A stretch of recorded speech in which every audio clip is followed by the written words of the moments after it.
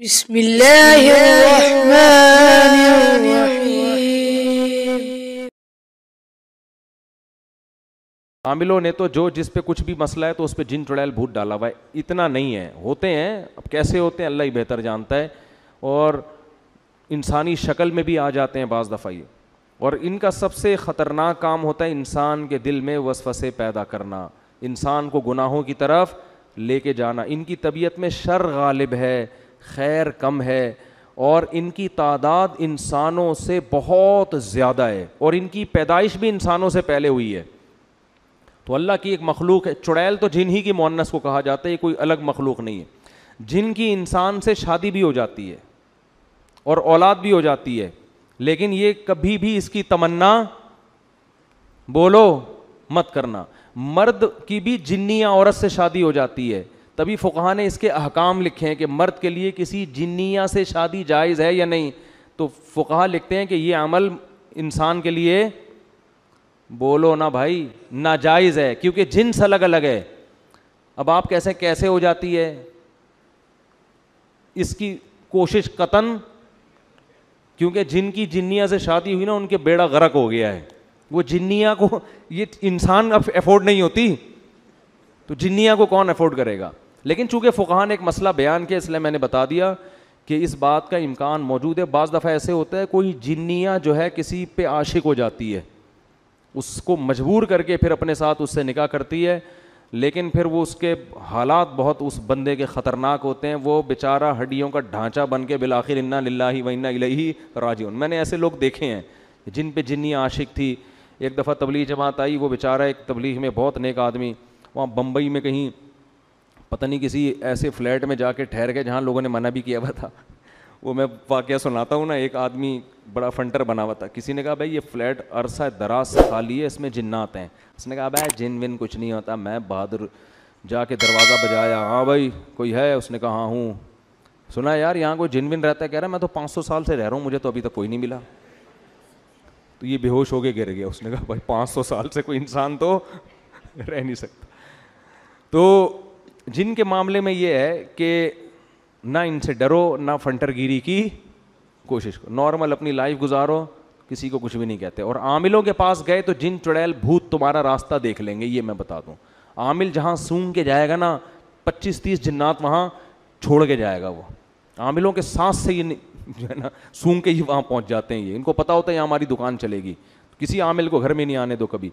तो जिन्निया से निकाह, वो मैं वाक़ सुना रहा था, वो बेचारे एक तबलीग जमात के थे, चालीस, पैंतालीस साल उनकी उम्र थी।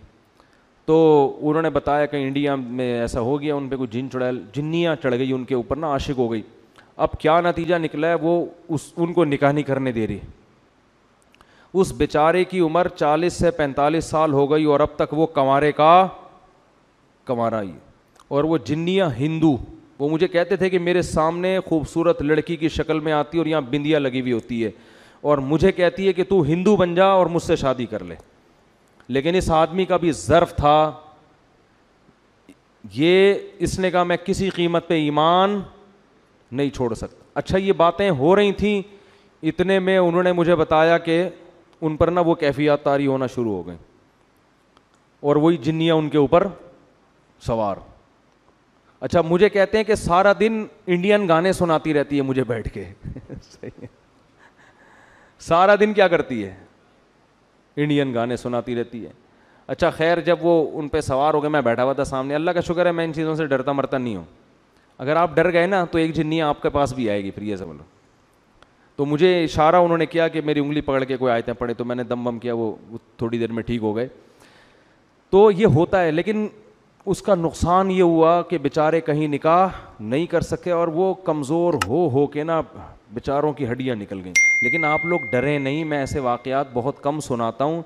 इसलिए कि लोग पहले ही इतने खौफजदा हैं कि यार अच्छा वो जो उस दिन कब्रस्तान में बिंदिया नज़र आई थी, वो भी कोई दुबई बम्बई की आई हुई जिन्नियाँ या चुड़ैल थी, कुछ भी नहीं है, आपका दिमागी तखयल होता है ज़्यादातर।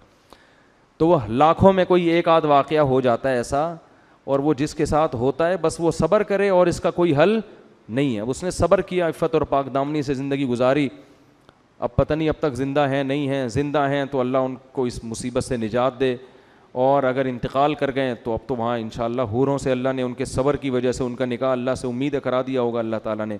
लेकिन इन चीज़ों का इलाज, सब्र के अलावा कुछ भी नहीं। जो अहादीस में दुआएँ आती हैं, उनको पढ़ना चाहिए। सूर फलक सूर नास है और बिसमिल्लासमी शयन फ़िलर्द वलाफ़िसम ये पहले से ही अहतमाम करना चाहिए इन चीज़ों का, ताकि इस किस्म की चुड़ैलें मुसलत ना हो आपके ऊपर।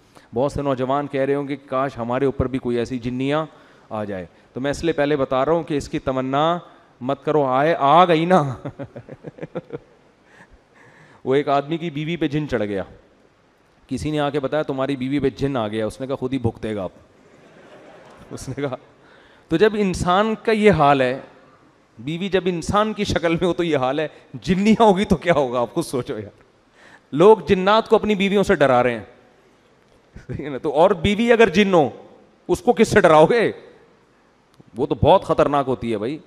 तो इसलिए इसकी तमन्ना ना कि, मसला आ गया तो मैंने बता दिया। हमने कहा, चलो, कुरान में जिन्नात का तस्करा है तो सरे दस ये भी हो जाए। वरना मैं कोशिश करता हूँ, जिन चीज़ों का हमारी प्रैक्टिकल लाइफ से ताल्लुक़ नहीं है, उनको मैं ज़्यादा छेड़ता नहीं हूँ।